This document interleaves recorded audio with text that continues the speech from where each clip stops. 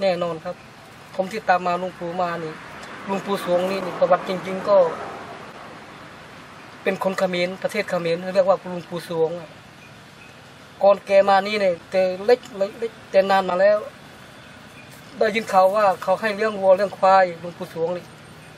แต่ขี้เกียจเรื่องวัวเรื่องควายก็ขึ้นมาในประเทศไทยเนี่ยประเทศเขมรเขาเรียกว่าลุงปู่สวงครับ ประเทศไทย เขาเรียกว่าลูกตะบอก บอกเนี่ยแปลว่าไร่ ไร่นาแกชอบอยู่ทุ่งไร่ทุ่งนาตามที่เงียบสงัดตามภูเขาเชิงภูเขาตามแนวชายแดนนี่หลวงปู่สวง ประเทศเขาเรียกว่าปู่สวง ประเทศไทยก็เรียกว่าลูกตะบอกนี่คือความเป็นจริงประวัติของหลวงปู่สวงนะครับนี่หลักฐานที่ผมมายืนยันเนี่ยเป็นความจริงของหลวงปู่ที่ให้มาทุกอย่างที่อยู่นี่ เส้นนี้ก็เส้นผมหลวงปู่สวงครับ เส้นผมที่แกทำให้ผมทั้งคืนทั้งวันแต่รวมสภาพเรียกว่าเป็นคนเป็นอย่างดีแกให้ของฝากให้กับผม เส้นผมนี่ก็แกเอาเส้นผมไหนขอโทษนะครับ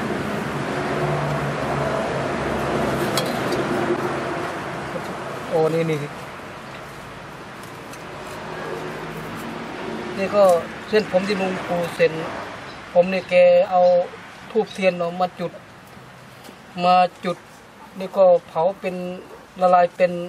น้ำเป็นน้ำมันเส้นผมนะครับจะทำให้ผมทั้งคืนเมื่อ ขึ้นสิบห้าค่ำผมจำถ้าผมจำไม่ผิดแกทำให้เป็นสมุนแบบแกทำให้พิเศษเลยนี่หลวงปู่สวงครับ มีเหรียญที่หลวงปู่ให้ในเกะกับมือครับ มีสบงจีวรต่างๆ ยันอะไรต่างๆนี่ให้ผมมากาน้ำแล้วก็นี่ก็มีดนี่เป็นมีดนะครับ เป็นที่หลวงปู่ทำให้เราเห็นในเป็นมีดอะแกถืออยู่ในป่าดงพงไพรอะป้องกันตัวอะไรยังไงผม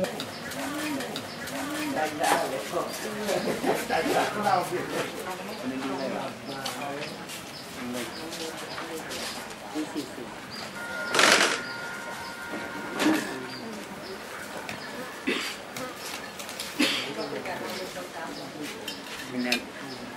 เลย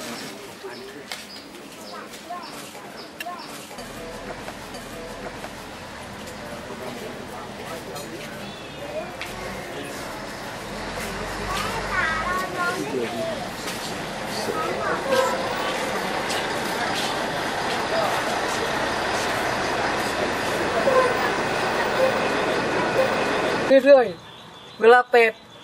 ผมก็ไปหาลุงปูนะ เตรียมพวกหัวข้าวอะไรขึ้นรถไมโคร ไมโครลุงปู่ทุกวันนี้ยังมียังยังอยู่ครับ ตามหาลุงปูถึงพนมลงเออพนมผมภูเขาดินอะพนมดินที่คุณหารคันคุณหารอำเภอคุณหารจังหวัดศรีสะเกษผมไปหาลุงปูสิบหกนาฬิกาผมก็กลับเป็ดผมก็ไปจนเด็กสวัสดีครับคุณครู ผมว่าใช่เป็นครูนะพอแต่ตามลุงปู่ไปเรื่อยๆ จนเด็กว่าผมเป็นครูใช่แต่ยังไม่เป็นครูหรอก เป็นนักติดตามสังเกตดูทางโลกทางธรรมทางพระพุทธศาสนาพระองค์นี้ไปมาแบบไหนอะไรยังไง ก็เลยผมไปติดติดไป ทุกวันเลยครับเป็ดไปสิบหกกลับ ช่วงนั้นพอถึงไอ้